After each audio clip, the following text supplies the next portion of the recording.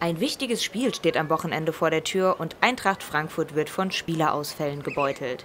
Die Eintracht ist in München zu Gast und da es in dieser Partie so viele Ausfälle gibt wie selten, muss Nico Kovac sogar von einem Spickzettel ablesen, um niemanden zu vergessen. Beim Prinz äh, sieht es äh, so aus wie im letzten Spiel auch, also er steht uns morgen nicht zur Verfügung, beziehungsweise übermorgen. Hat immer noch äh, starke Probleme am Oberschenkel. Der Pferdekuss hat wirklich seins hinter, hinterlassen. Johnny de Guzman äh, ist, wie Sie ja wissen, verletzt. Carlos Salcedo ist wiedergekommen aus Mexiko. Er ist jetzt äh, so langsam dabei, wieder ein bisschen mitzutrainieren, aber jetzt äh, erst einmal individuell. Danny Blum ist erkrankt. Ante Rebic äh, ist jetzt auf dem Weg der Besserung, aber noch nicht bereit für das Spiel am Wochenende. Makoto ist äh, gesperrt, wie Sie ja wissen. Ähm, ja, ansonsten sind soweit alle anderen an Bord. Ich hoffe, ich habe niemanden vergessen. Gegen Bayern München zu spielen fühlt sich für viele seltsam an, denn immerhin wechselt Nico Kovac ab Sommer zu Bayern München und steht daher am Wochenende gegen seinen zukünftigen Verein auf dem Platz. Wir haben am Wochenende ein Spiel in München, das ist richtig.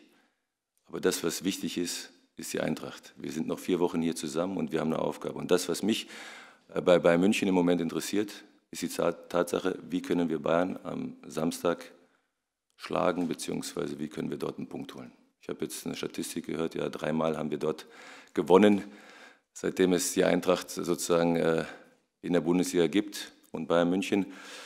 Es wird nicht einfach, aber das ist einzig und allein das, was ich sagen kann. Ja, und was auch zählt. Wir fokussieren uns auf das, was wir noch erreichen können. Und dazu zählt dann auch bei München. Trainerwechsel hin oder her. Sicher ist, dass die Eintracht hoch motiviert ins Spiel gehen wird. Denn gegen Bayern München zu gewinnen, ist für jede Mannschaft mindestens ein Saisonziel. Doch wie kann die Eintracht in München tatsächlich punkten?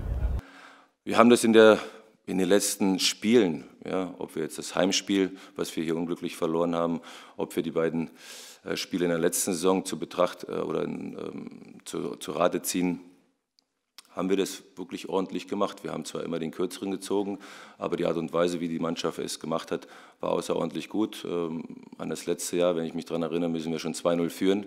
Ja, ähm, ich glaube, da erinnern wir uns ja alle dran.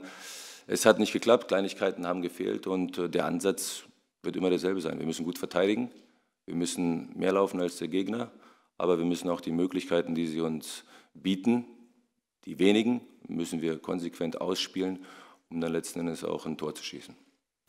Ob das gelingt, wird sich am Samstag um 15.30 Uhr zeigen. Da ist Anpfiff in der Allianz Arena in München.